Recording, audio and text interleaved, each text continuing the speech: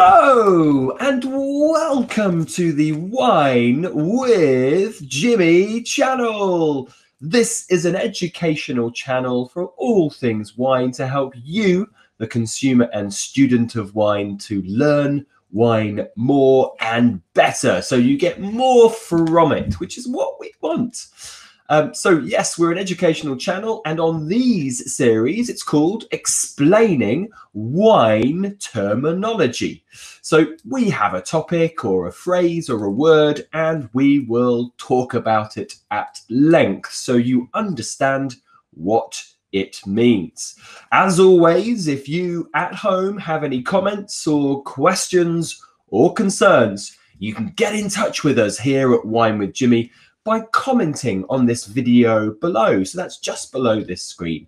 Um, whilst you're down there, make sure that you click subscribe and also the like button. Also, uh, social media at the bottom. If you are that way inclined and you like the way of social media, you'll see all of the social media at the bottom of each slide. So on this presentation, we are looking at the world of noble rot, uh, a very important terminology. We're going to talk about what it is, what causes it, and what its effect is on the grapes, and key styles of this, um, this production method in the world. And there you have the uh, influence of noble rot on the grapes we can see just there. And here you have it again. So this production method, which is a viticultural production method, it happens in the vineyard, is used in the production of most of the very, very best sweet wines, including things like Tokai, Sauternes, and also things like Beerenauslese and Trockenbeerenauslese in Germany and Austria in Central Europe. It is caused by the fungus which is called Botrytis cinerea. So that's what we've got here at the top of the screen. So the fungus is called Botrytis cinerea and it creates noble rot. Now, in fact, noble rot is also the, uh, a name for botrytis. We often say botrytis is the type of rot. So they are interchangeable, those two terminologies. Um, now, one thing to immediately mention is that this fungus is the same fungus that causes grey rot, which is a, a rot of the berries, which leads to splitting, and those grapes cannot be used for the production of wine. Uh, but under the right circumstances in the vineyard, a benevolent form of botrytis will occur uh, and actually not split the grape, but it will concentrate uh, the components within the grape. And when we use that in winemaking, it can make exceptionally sweet wine. So it is the same as grey rot, but it is the more benevolent form. So, what are these ideal or specific conditions needed in terms of weather? Here you are. So, firstly, the grapes that are going to go through noble rot must be fully ripe before the development of the rot. Uh, secondly, the grapes must be grown in a region that provides lovely, sort of humid, misty mornings, what we see on the left hand side of your screen there. So, humid and misty mornings. So basically, we're talking about lots of moisture.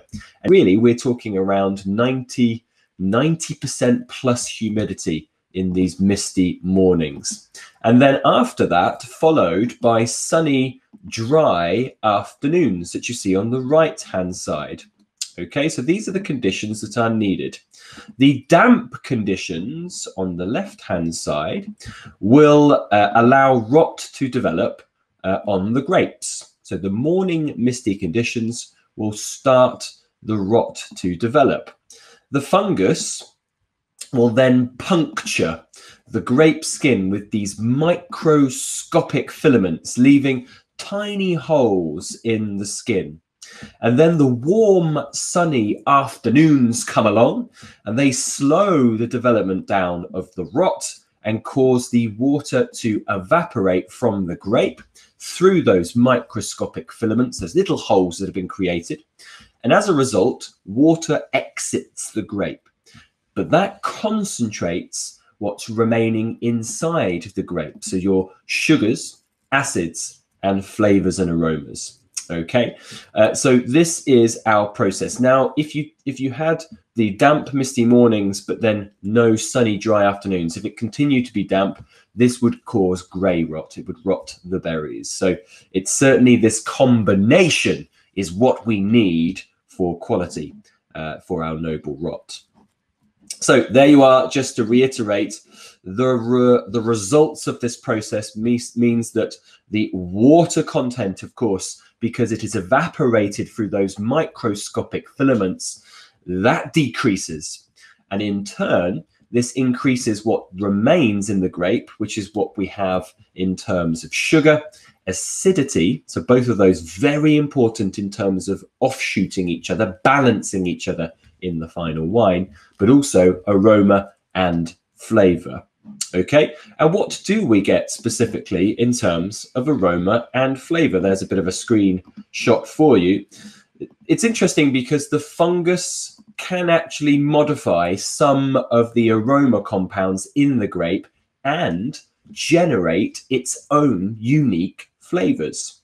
So, wines made from grapes affected by noble rot will distinctively have things like honey, uh, apricot, citric fruit zest, so orange, lemon, lime, you've got on the right hand side just there, ginger, and also things like dried fruit aromas, like dried apricots, for example. Okay, marmalade would be another one as well.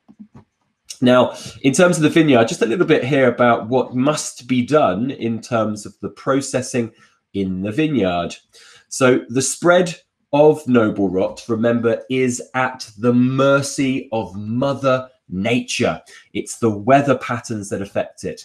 So, therefore, it's never fully uniform across a vineyard. It's not the same. And several pickings by hand will need to happen to ensure that the best grapes in the right conditions are selected. This is therefore an expensive process that requires very talented and skilled labor forces, pickers who have had experience or training.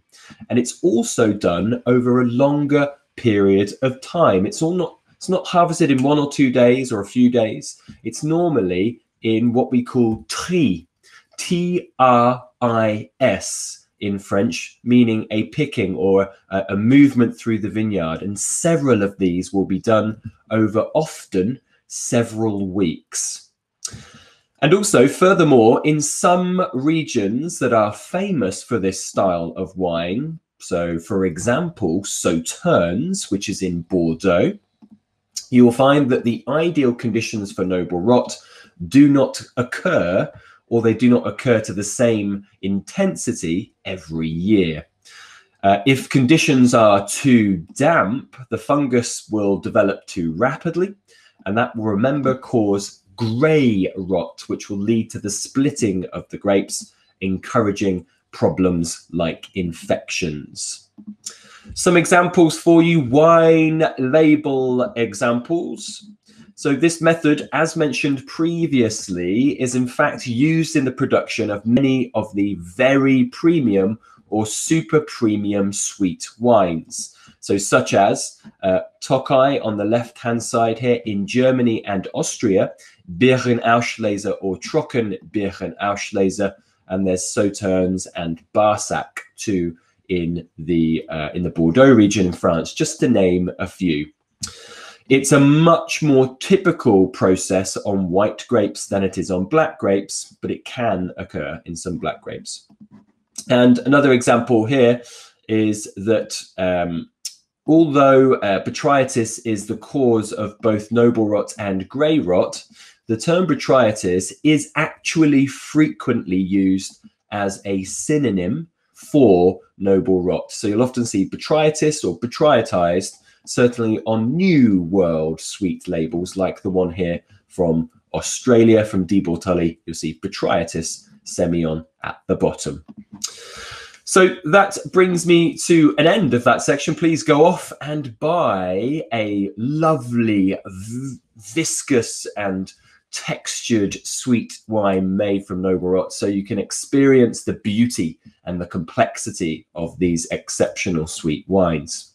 Now, if you have found this presentation useful, uh, we do have a wonderful e-learning portal, which is at www.winewithjimmy.com.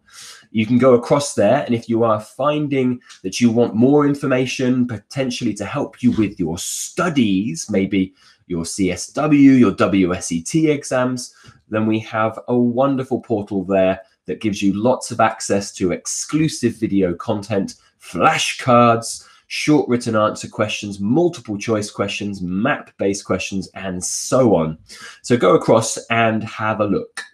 Uh, once again, if you do have any comments or questions or concerns, then please, please, please pop a comment in the section.